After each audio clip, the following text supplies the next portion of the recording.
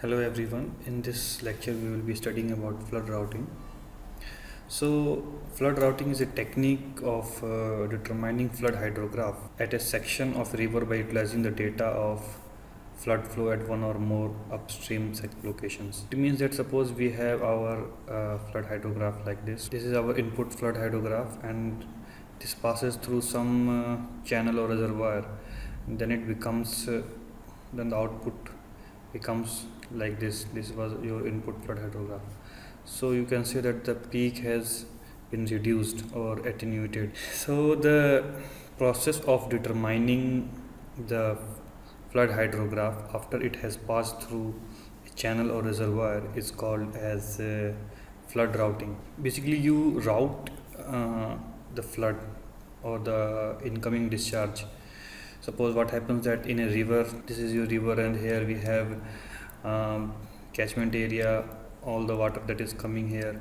So in input hydrograph at this location will be will have much higher peak discharge value.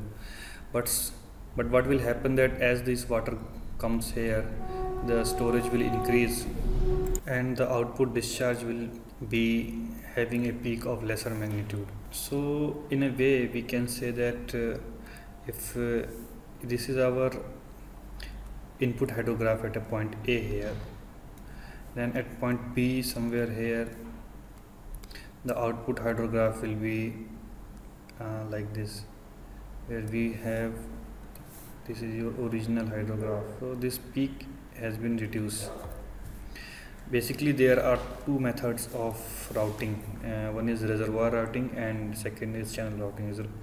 Reservoir routing means that the water is stored uh, in a reservoir and uh, thereafter the discharge is allowed.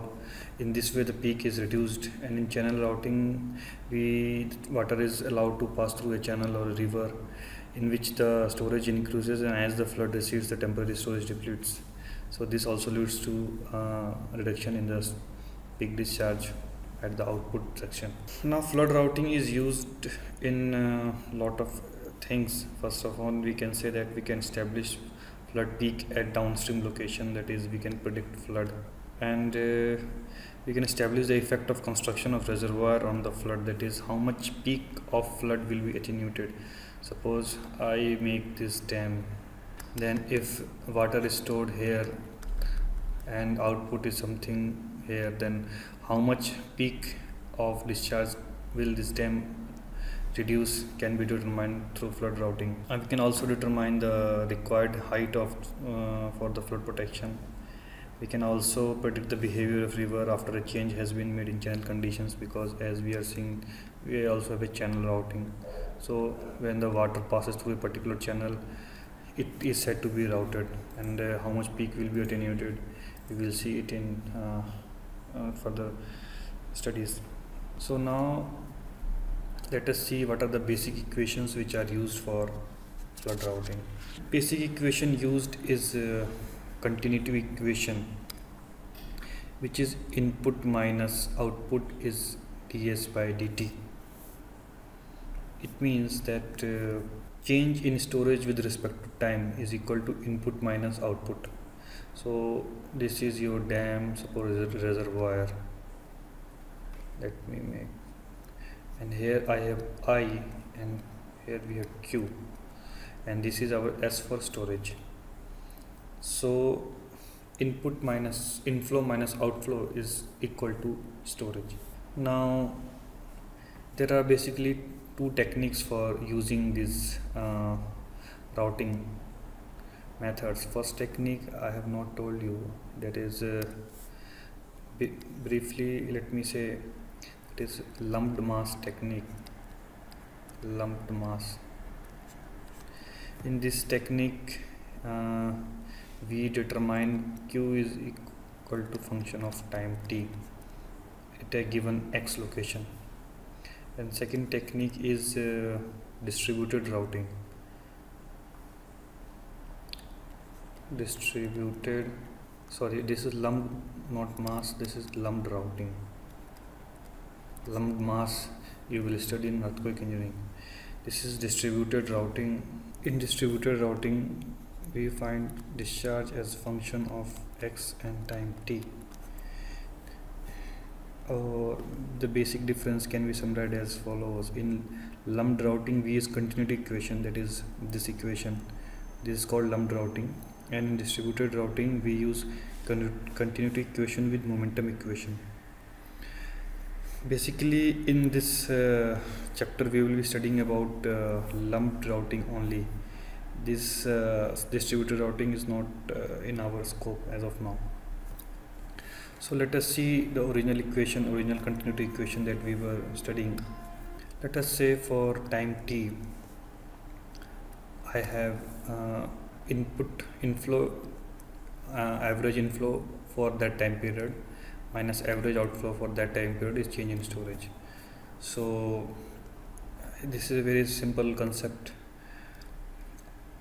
Inflow average is i1 at time t1 plus i2 by at time t2 t2 by 2 so average of 2 inflow minus average of outflow for that time period t delta t basically uh, is equal to change in storage so from this basic equation we will be deriving all our routing equations.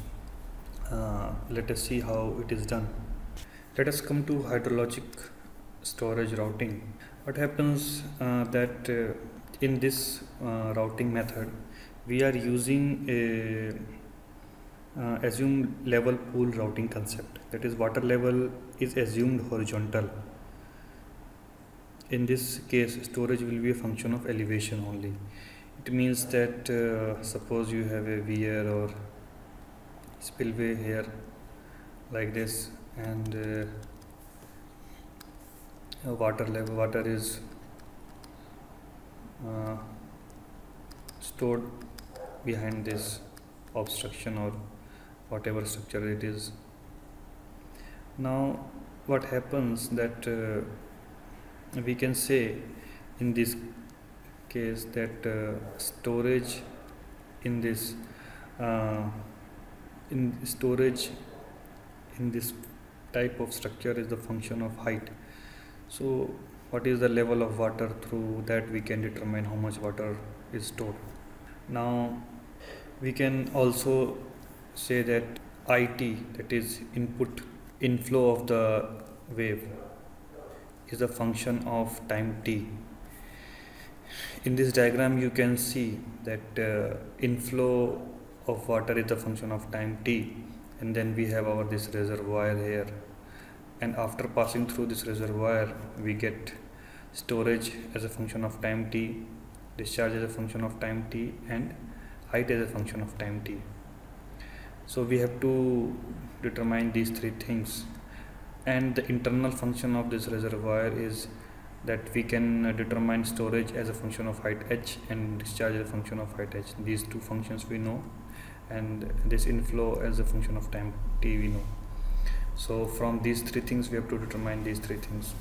Uh, this is a basic concept behind hydrologic st storage routing. That is water is stored somewhere and uh, when inflow of water is there the outflow function is to be determined in terms of time t we can say that in our uh, equation in our structure our discharge function for that reservoir was 2 by 3 that is I have written here. This is the discharge function. That is the function of discharge with respect to your height which we know that this is a function of q of h. So in this case uh, this equation is from uh, fluid mechanics where cd is coefficient of discharge and how this has been derived you need to study there. Through this uh, discharge function and storage function of height h we will be able to calculate uh, inflow we have here and we'll be able to calculate outflow and height and uh, out and storage of with respect to time t. Now let us look at uh, various methods of uh, reservoir routing. Reservoir is also comes under storage routing and this storage routing is basically one of the type of routing. So we have uh, this thing we have seen as a basic principle behind uh, how the routing is to be done and now this is the method of uh, routing so first method we will be looking at is, is modified. You can say it's pull method. In this case uh, basically this equation is modification of uh, uh, this equation. Let me write here. The original equation is like this. I1 plus i2 by 2 delta times inflow minus outflow. Q1 plus q2 by 2 delta t is a function of is equal to change in storage. Basically s2 minus s1 so rearranging this to this we get. So what is the benefit of arranging uh, the equation like this? We can uh, in this equation we can see that we know this term we know this term and the only unknown uh, that we don't know is here. We know q1 s1 and delta t. So we have to determine q2 and s2 after time t. Is discharge function and uh, storage function after particular interval of time t. So we have rearranged this equation in this way. Now the given thing let us write once again. We know q as a function of h discharge as a function of h. We know storage as a function of h because it is uh, reservoir pool or storage pool routing. So basically s plus q delta t by 2 is also known as function of h by combining these two things. Now there are uh, let us study what are the steps from uh, uh, what are the steps to determine this the various steps in routing. For the first time interval delta t we can say that uh, from the known relations we can prepare a curve of s plus q t delta t by 2 versus elevation that is this thing. Now we also have curve of q versus h. So storage inflow and outflow at the starting of routing are known. This is a clear fact. The water surface corresponding to s2 plus q2 delta t by 2 is found by using plot of step 1 q2 is found for so what you can do we know uh, we can find h for this uh, function. And from h we can determine q2 so now we can uh, deduct q2 delta t from this to get this for the beginning of next time. What we have seen let us uh, go through it once again. I1 plus i2 by 2 delta t and s1 minus q1 delta t by 2 are known. What it is saying that uh, at the starting of your curve at the beginning you have i1 plus i2 by 2 delta t. You know this term okay and oh, you also know s1 minus q1 delta t by 2 so you can determine s2 plus q2 delta t by 2 you can determine this from the relationship of this s q delta t by 2 we can determine h. This is this this. We have to determine h corresponding to this that is discharge elevation relationship.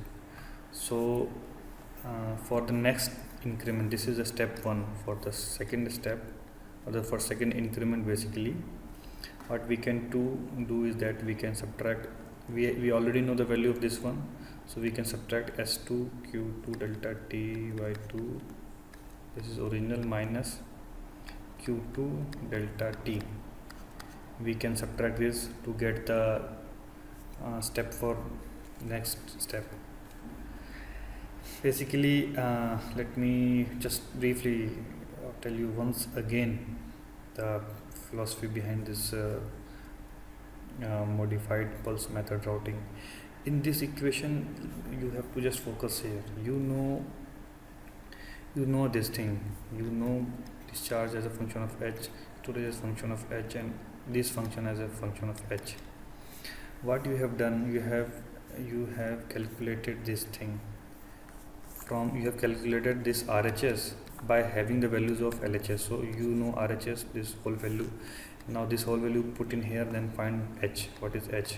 So you know the uh, H is found at the same time. From H outlet discharge is found using so if you know H then you also know Q what is the discharge at that time because that is the function of uh, uh, H. So that discharge will become our you know that is q2 so you know q2 you know delta t so you you, you basically you know everything in this. And then uh, you you subtract this from this to get the second equation. Basically these types of questions can be done uh, using tabular method which you can find uh, in any good book. So the concept behind this is very simple and uh, it will take some practice for you to uh, get through it. Now let us see one example that uh, uh what the routing does to our inflow hydrograph.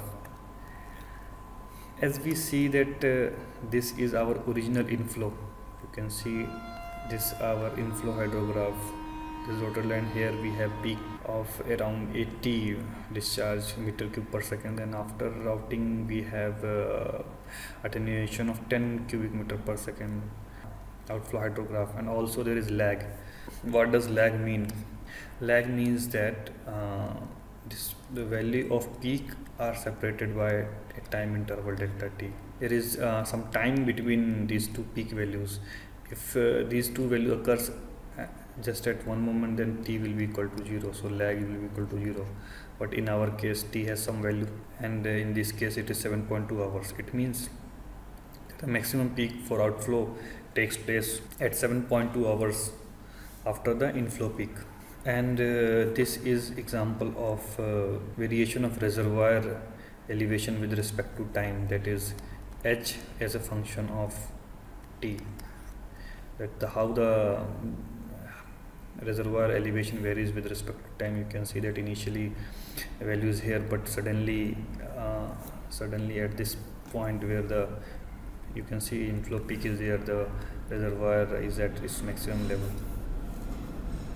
One more method of uh, channel routing uh, storage routing is Goodrich method. It is just another way of rearranging the earlier equation that we have seen. All terms in LHS are known and uh, that on RHS is unknown for given time increment delta t.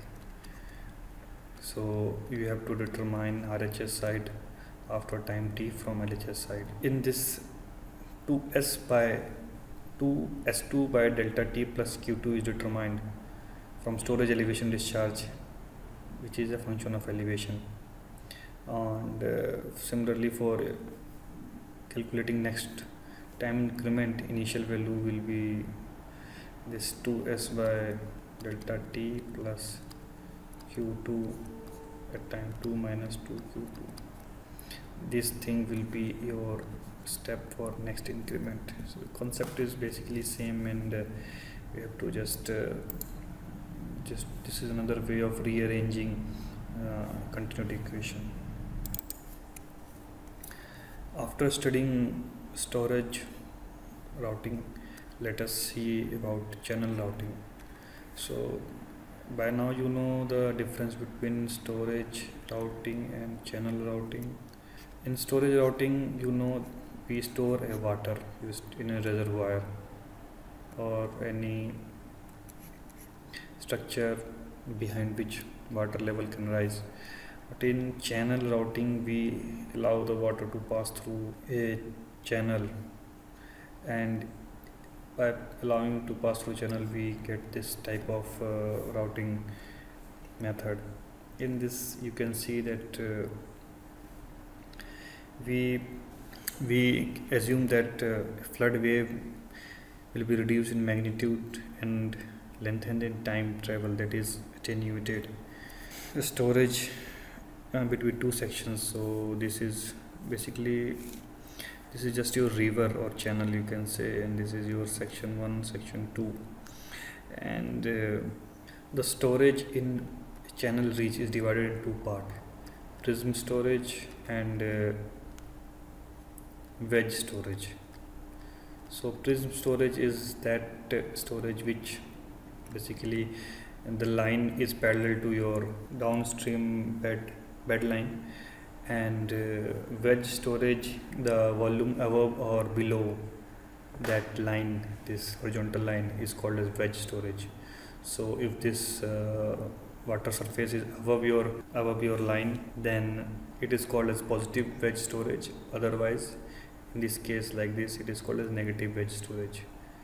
So we have our prism storage here and our wedge storage in this these are just ways of uh, defining your storage in your channel reach. During rising stages the wedge storage volume is considerable. It means that when the flow is rising uh, the water surface will not be uh, parallel to your bed. As inflow drops more rapidly than outflow the wedge storage becomes negative. In the case of stream flow routing the solution of uh, basically in this case the solution is more complicated than in uh, reservoir routing because wedge storage is involved. And uh, this wedge storage is a function of your uh, input and output. So the storage of storage in channel reach plays an important role here. Let us uh, see one method which is known as muskingum method. Here the storage is given by this function this in this in this uh, equation k and x are coefficients and uh, now basically x is known as a weighting factor. It takes value from 0 to 0.5 the value of x depends on the shape of wedge when x is equal to 0 obviously the storage is a function of discharge only. You know x is kq m is a constant of uh, which is used in exponent m is 0.6 for artificial rectangular channel or m is 1 for natural. Such a storage is known as linear storage. The storage is known as linear storage. Storage varies linearly with the coefficient k is known as storage time constant and has dimension of time. It is approximately equal to the time of travel of flood wave through channel reach and the value of k depends on length of reach and other roughness characteristics. So basically this uh, equation you have to remember and you have to remember all these constants and what are the values they can take. So let us see further the use of this equation. For natural channel as we have seen m is equal to 1 therefore this equation become s is kx i plus 1 minus x times q for natural channels. When x is equal to 0 that is when weighting factor is 0 then s is a function of q only. When x is 0.5 both inflow and outflow are important. It is the weighting factor of uh, with respect to inflow if x is 0 means inflow has no role it is the storage is a function of discharge only. So you know x and with respect to time here you have attenuation that is uh, uh, the peak is the peak is reduced and also with respect to time there is lag. And uh, we have accumulation of storage with respect to time. Then this is a simple graph which you will get in your channel routing. So how do we solve this type of equation and uh, what can be done? Uh, like we have uh, seen in reservoir routing you can see that we have plotted by selecting x plus 1 minus x cube this function we have plotted with respect to storage I, we have value of k here x here for different x values. We have plotted storage function. So inverse of the slope of the plot value gives this so if you have plotted this the inverse of this will give you the value of k. Now let us see the Muskingum method of routing. This is Muskingum equation that we have seen here. And now we will see the method of routing Muskingum method of routing says, says that your S2 minus S1 is k times uh, I2 minus item plus 1 minus XQ2 minus Q1 in this we have taken uh, natural uh, channel because our value of m is equal to 1 in this equation. Okay. And 1 and 2 refer to different conditions and before after time delta t. Routing equation is uh, from these two thing we can uh, we can say that q2 is finally function of c o i2 plus c1 i1 plus c2 q1 in deriving this equation one more equation has been used along with this. Let us call it as a. And uh, as we have seen earlier that s2 minus s1 is i2 i average delta t minus q average delta t so these two things are uh, from these two things we get this equation routing equation that we will get the value of discharge time interval 2 so this is c naught c1 c2 we have to remember the value of these coefficients because there is no other way. C naught minus kx plus 0.5 delta t and likewise c naught c1 c2 you, when the value of k and x are given you will be able to calculate these two and then substituting the value of these two you will be able to calculate q2 given your value of q1 and i1 so one thing to note is that the value of c naught plus one thing to note that the value of c naught plus c1 plus c2 is 1 in this uh, equation. So for nth time interval we can define the discharge as function of uh, like this. So what are the steps to find the this uh, routing method through Muskingum equation? Uh, we have to select the value of delta t because we know k and x okay? So we select delta t time interval. Through time interval delta t we calculate c 0 c1 and c2 because as seen in this equation you can calculate this and starting from initial condition of i1 q1 and known t2 i2 the end of first time step calculate q2 it's very simple. We have to calculate q2 then q3 then q4 so the out outflow in becomes inflow for the second next time step. That it means that here your qn minus 1 is input for your this outflow qn. So this is what it is saying. So we have to repeat the calculation for entire flood hydrograph. Now we see that linear reservoir is a, is a reservoir in which storage is directly proportional to discharge. That is S is function of Q only. This is called a linear reservoir. This is an important concept. Linear channel a fixed channel. It's not real in which the time required to translate a discharge Q through Q and reach is constant. An inflow hydrograph passes through such a channel with only translation and no attenuation. What it says that uh, there is no attenuation that uh, for in linear reservoir if this is your inflow peak then uh, this will be your outflow flow peak. These these two will be at same level. There is no difference in inflow and outflow and there is no attenuation this is called as such channels are called as linear channel. Now let us study some now let us study some methods of uh, flood control. Basically flood control can be divided in two methods uh, two parts structural and uh, non-structural means.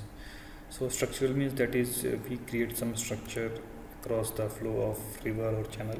First is your storage uh, reservoir. In this uh, these are very popular or very abundantly used and uh, second is your floodways watershed what, what does this floodways mean? Floodways are natural or man-made channels into which part of the flood will be diverted during high stages. So storage reservoir is clear that is we create a reservoir. There are a lot of method for creating reservoir. Most popular one is creating a dam.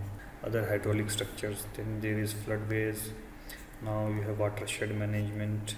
And these watershed management is basically uh, involves a lot of work in your watershed area.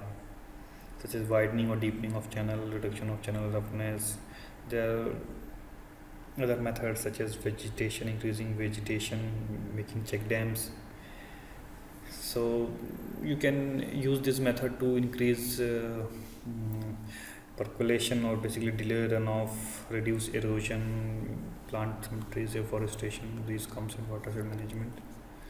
And levees are uh, dikes or flood embankment basically if this is your river then these uh, these two can say that uh, a high bank on the sides of the river this is called as and there are methods of uh, doing channel improvement where you can uh, do increase cross sectional area of river. You can clear vegetation. You can uh, increase slope like this. These are structural methods for flood control. Non-structural methods include floodplain zoning that is land use in flood plain area is regulated. This means if your river is this okay and uh, we know that maximum extent of floodplain is like here up to here the river can flood. So we will not allow settlement in this area. You can make buildings here but not uh, here and you can regulate the use of these uh, floodplains so that uh, in future if flood comes then human life and resources are not uh, disturbed. Now let us look at uh, one more concept of reservoir sedimentation. The deposition of uh, sediments in reservoir is called reservoir sedimentation. What does this mean? That if you have this dam and uh, behind this we have storage of water, then what happens that uh, deposition of sediments will take place as the water has stopped here completely so the since the water is not in motion the deposition of reservoir uh, sediments will take place. And uh, since river carry a huge amount of sediment along with the river it uh, really creates a problem for reservoir. And it uh, reduces the available capacity of reservoir. Useful life of uh, as more and more sediments occur average velocity capacity of reservoir decreases storage capacity. So, with continued sedimentation, a time will come when the reservoir will not be able to serve its purpose. That so much of silt will be deposited, then that uh, the purpose of uh, creating a reservoir itself will be defeated. So, the rate of sedimentation depends on trap efficiency. This is a concept where we say that uh, sediments retained with respect to total sediments is called as trap efficiency efficiency. So the lower the traps efficiency the better it is. So if we have 70% traps efficiency means 30% of the sediments are going out. Based on the observations it has been found that trap efficiency is function of uh, capacity divided by outflow. With respect to capacity and inflow rate you can say that uh, trap efficiency then becomes the function of capacity with respect to inflow. This is a empirical exercise and it, it, it has been found that the function is like this. So now we come to the end of this chapter and uh, I have very briefly explained you these uh, concepts about flood routing. So flood routing in this we have seen the concept with respect to hydrologic routing then uh, channel routing then how the all the things fit together and uh, various ways in which we can calculate output uh, flood hydrograph and how much peak will be attenuated and uh, what are the various methods of storage routing and channel routing so these concepts are not very difficult and uh, i expect you to go through some examples in the book because these all examples will be based on a table like format and just by step by step you will have, you will be calculating these values and then uh, with respect to that you will get your discharge values whatever whatever uh, function we want in hydrologic channel routing we have seen Muskingum equation and uh, there I have asked you to learn these three coefficient values and then the routing equation will be function of these three and the q2 value will become input value for the q3 uh, time step. So these are very simple and easy things to understand and uh, more you can read about uh, flood routing in uh, any standard textbook. And for now uh, let me close this chapter and if any mistakes i have made please uh, remind me and uh, please suggest any other topics that uh, you would like to study. Because of my busy, busy schedule i have not been regular in making videos but i will try to make as much uh, informative videos as much i can.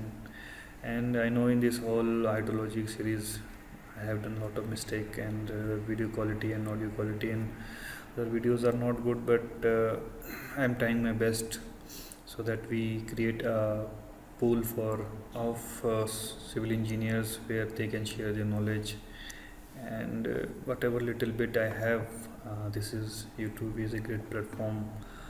So thanks once again. Goodbye